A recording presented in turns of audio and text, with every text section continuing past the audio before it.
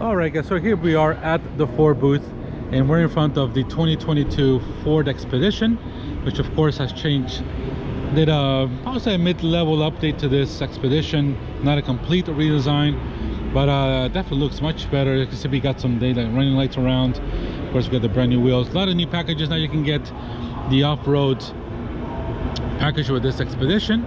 So as soon as i can get my hands on one guys i'm gonna definitely take you for a test drive. Um really nice.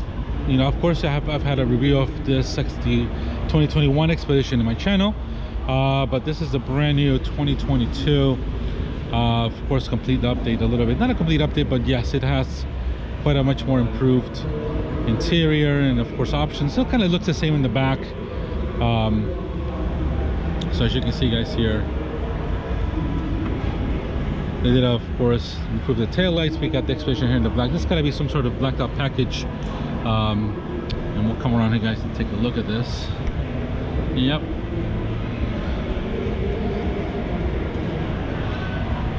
So it's really nice expedition bit of it improved.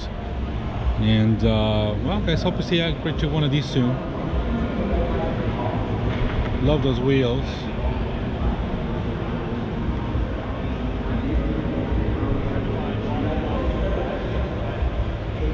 you can see that interior there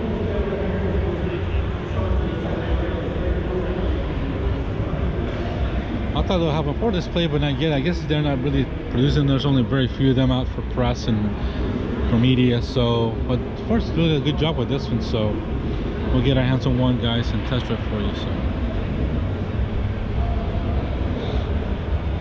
all right, guys, a quick run around of this 2022 2022 Ford Expedition.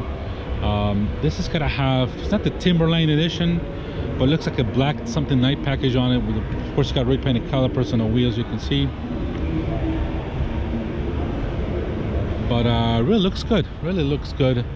So hope you guys to bring you a review on this new one pretty soon. So, all right, guys. Thank you for watching, and uh, we'll see you on the next car here at the Central Florida Auto Show.